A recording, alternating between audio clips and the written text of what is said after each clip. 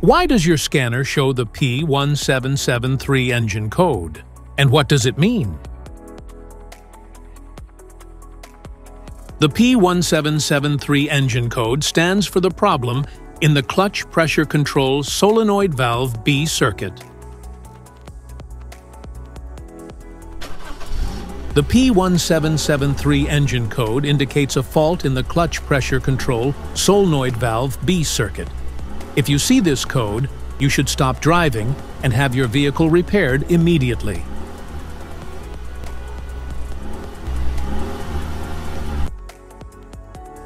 What causes this imbalance? Here are the most common culprits.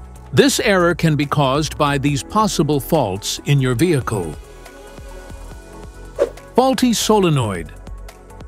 Open shorted wiring. Poor connection.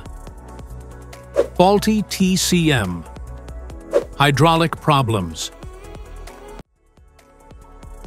Each DTC code corresponds to a specific issue in your vehicle. This error occurs in OBD2 equipped vehicles. The P1773 engine error code is often associated with specific manufacturers and is typically found in vehicles with electronically controlled transmissions.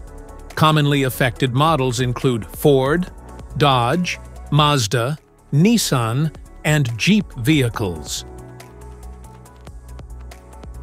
If you want to fix this error code, let us know in the comments section.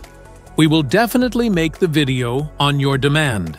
If you like this video, don't forget to subscribe to our channel. Thanks for watching.